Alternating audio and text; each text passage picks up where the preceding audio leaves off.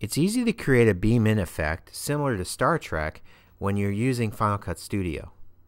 First, edit the background video to your sequence within Final Cut Pro.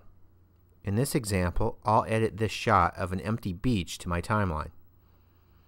Next, superimpose your green screen clip onto V2 over top of your background video.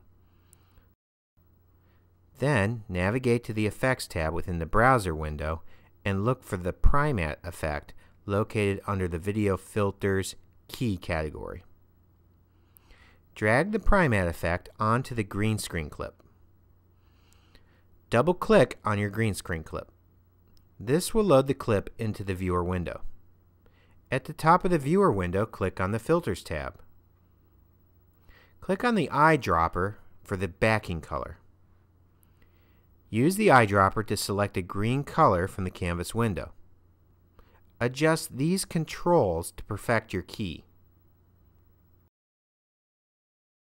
Click on the Motion tab to crop out any excess areas that you need keyed out.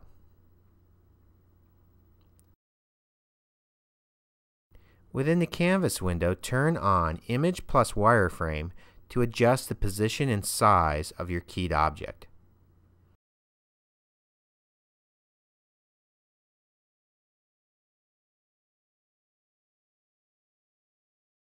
Next, launch the Apple Motion program. You can leave Final Cut Pro running in the background. Within Apple Motion, click on the Library tab and look for the Transport Particle located within the Sci-Fi category.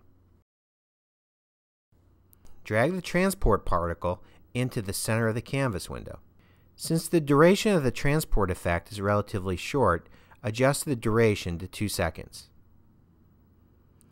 Navigate to the File menu to save the motion project.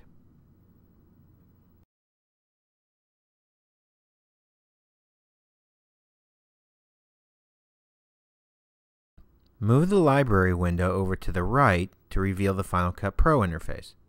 Drag this Motion Project icon from the top of Motion's Canvas window into the Final Cut Pro browser window.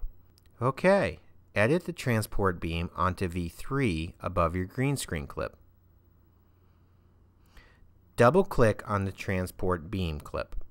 This loads it into the viewer window. Use the Image plus Wireframe mode within the Canvas window to line up the transport beam with the position of your talent. Next, you'll need to trim back the green screen clip a bit to give the illusion that your talent is being beamed in. Right-click on the transition point to add a dissolve. That's it. Back up and watch the sequence.